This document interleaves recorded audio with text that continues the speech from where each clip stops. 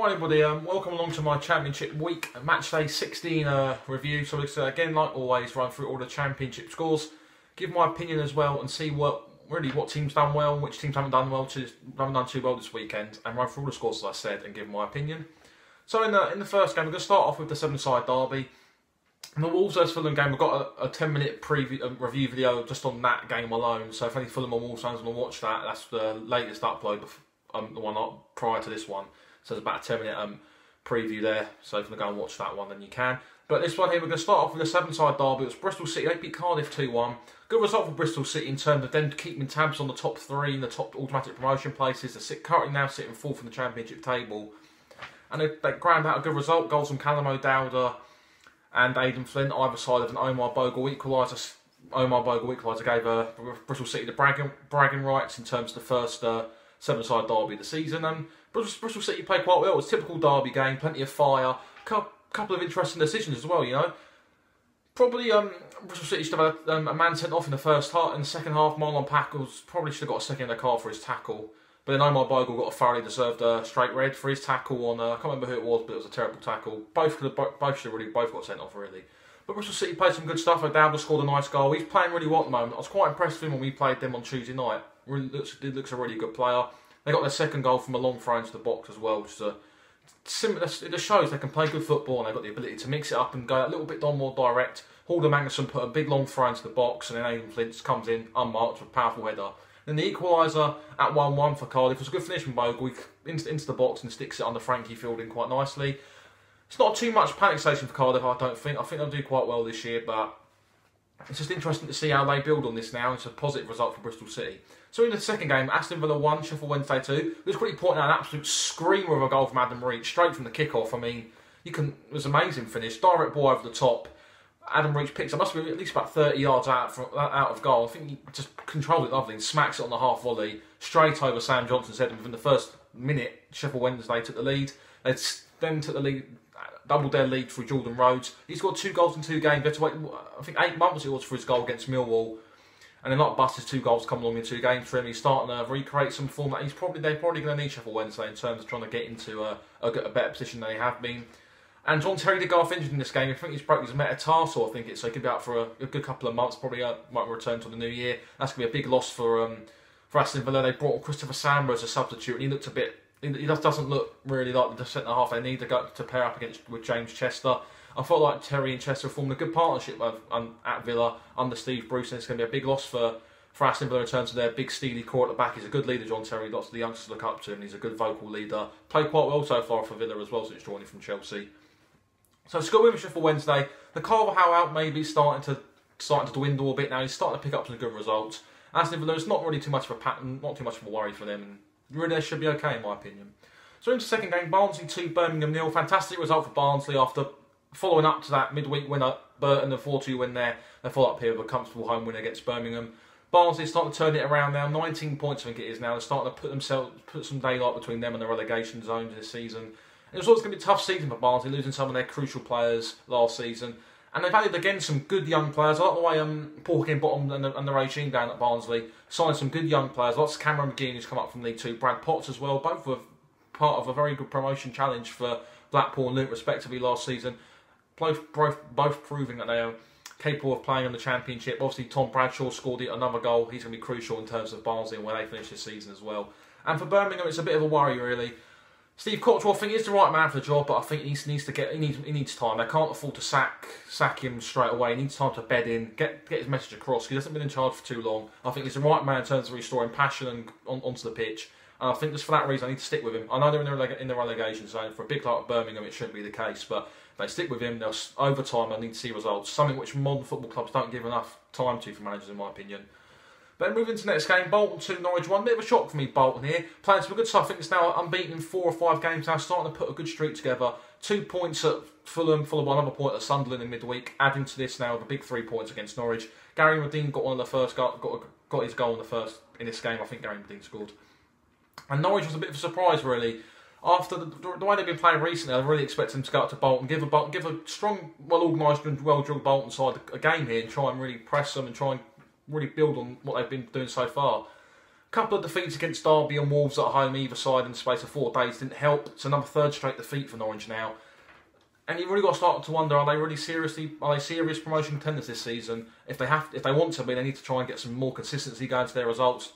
Basically, they, what they need to do is well, another good run of results prior to what they did after the after the Ipswich game. Prior to that, when they obviously won a good little run and then went on to beat Ipswich as well. Hasn't the form hasn't materialised after that, which is a bit of a surprise. You probably think you beat your local rivals. It's a big turning point in your season, but it hasn't been that for Norwich this season. And in terms of Bolton, they come off bottom spot now, starting to push up now under Phil Parkinson, getting a good unbeaten run together, accumulating points on the board after a sloppy start, scoring goals now as well, which something they didn't do at the start of the season.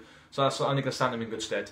So move, moving on, Derby 4, Derby 2 I mean, Reading 4. Bit of a shock result here in this one for me. Derby going down 4-2 against Reading. Reading played fantastically well in this in this game. Played on the counter-attack quite well, utilised the likes of Mo Barrow, Aluko, and basically some of their quick, quicker players really stretched Reading. Liam Moore got the first goal here. Good header from a corner with Terry Butcher bandage around his head. It's a good signing at centre half. And Luco took his goal very well as well. He come inside with a good, typical Luco style goal, good weaving run and drills it in the bottom corner. Mo Barrow got a third goal as well. And in terms of Reading, they're maybe starting to see what Jaap Stam, he's starting to maybe get a good tune out of them. Going to Leeds and Derby this season, getting six points, and that's fantastic for them. Not the best start this season, suffering from playoff hangovers, um, as I've mentioned before. But in terms of pushing on now, they may be starting to see a bit of more of an effect from Jaap Stam. Spent a lot of money in the summer trying to get good players in, trying to add to what they did last year after just falling at the final hurdle in terms of promotion. And this result's only going to do nothing but boost the confidence, in my opinion. Against the Derby side, he built up some fantastic results prior to this game. As I said before, it's a bit of a shock seeing Derby go down in this game. Didn't expect it really and they've got Fulham next after the international break. That'd be a huge game for them in terms of what they have, what they can go on to achieve further on down the line this season. So into the next game, Ipswich 3, Preston nil. Good result for Ipswich, bouncing back again after a defeat in midweek against Cardiff. Preston haven't been playing too well recently. It's been a bit of a, of a, bit of a shock really for me in terms of how good they've done. Done a fantastic start to the season, solidified a playoff place as well. That's starting to slip a bit now, starting to fall into the top half now. Ipswich is a good result for them. Needed this win as well, and they're moving along. They're moving along quite nicely. They started Bersant Celina, which I felt was crucial in terms of them trying to uh, trying to score more goals at home. Martin Waghorn got his eighth of the season as well. What a good signing he's been from Rangers. Him and Joe Garner have proven that they've come back into the English into the Championship. No problems with settling because they've played in this league before. They know what this league's about. Angelina as well, proven that he's a fantastic addition from Man City on loan. Getting the game time he probably deserves now as well. And for Preston, it's probably going to be a bit of a Probably against international break and regroup after a couple of sloppy results against Brentford, against Villa, and most recently against Ipswich as well. So they need to regroup, rally the troops, and get into that international break. Think they've been quite cruel of injuries. I think Sean Maguire's out for a while now with a hamstring, one of their better players in the counter attack. So they need to get into, into, into the international break, regroup, and go again afterwards. Let's go into the next game. Millwall nil, Burton one. I think it's only Burton's second goal away from home this season. Fantastic result for them. Nigel Clough said that the luck had been going, uh, luck had been going against them this season couple of, I think only a couple of points picked up last month in October, so it wasn't the best month for them. Nigel Clough did come out and say as well that he, they didn't, he thought they didn't deserve to lose games. They've been a bit unlucky this season in terms of some of their performances as well. And Millwall, a bit of a shock for Millwall, in my opinion. I thought they'd have probably beaten Burton. Played really well away from home, in my, in my opinion, against uh, Sheffield Wednesday and Cardiff as well. You know, all right, come up short against Sheffield Wednesday, but got a good point at Cardiff. Narrowly defeated at Sheffield Wednesday, showing signs of real real good, con- you know, longevity in this division, in my opinion, and it's going to stand them in good stead. However, Marvin Sordell got the winning goal for Burton, and that massive three points is pushes them out of the relegation zone now as well, and it's absolutely crucial for them. So into the next game, Nottingham Forest 4, QPR nil. Big result for Forest in terms of trying to really solidify, into, try and get into the playoffs this season under Mark Warburton. Playing some good stuff this season, season as well. Getting the ball down, lots of Kieran Dowell, Barry McKay, some astute signings this season, scoring for fun in the league as well. Against QPR side, he beat two good promotion contenders in Wolves and Sheffield United in the space of four days, both at home. Bit of a surprise to see him get walloped at, um, at Forest, but this sums up the championship really. Any team can beat anybody, and it's not really much of a surprise in terms of the way QPR can be a little bit inconsistent at times.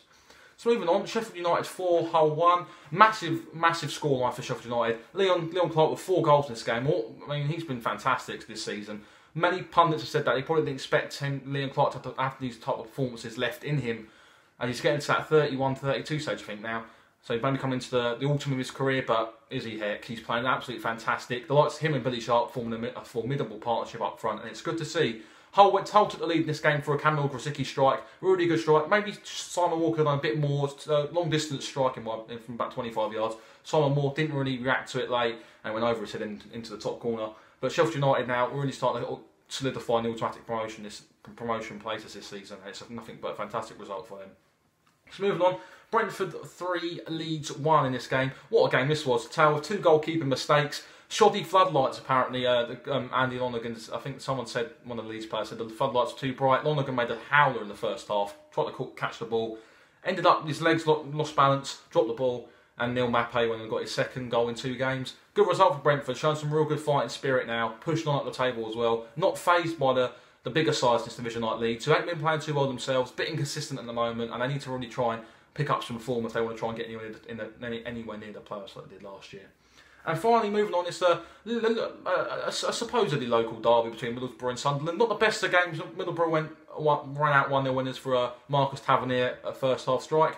And I thought Sunderland, Sunderland didn't play too bad today. They probably could have deserved a draw in this game, but in terms of the way they're playing, not creating many chances in my opinion. There's some good ones in the first half. A couple of top stops from Darren, Darren Randolph who had a bit of difficulty with the sun in his eyes in the first half. Good result for Sunderland, um, for Middlesbrough, sorry, and they look to try and press on now to try and get into the playoff places. Starting to get into their groove now this season after a slow start. And I think Sunderland hit the bottom of the table now. So, but it's, the, the performance today wasn't too bad. They've got plenty of positives to take from that, but I need to get a manager soon if I want to get some, you know, if I just want to need some, need some stability soon. I need to get a manager in. So yeah, guys, there's my Championship Matchday 16 review. If you like it, hit the like button, subscribe to the channel if you're new for more EFL content, and we'll see you all in the next video. Bye bye.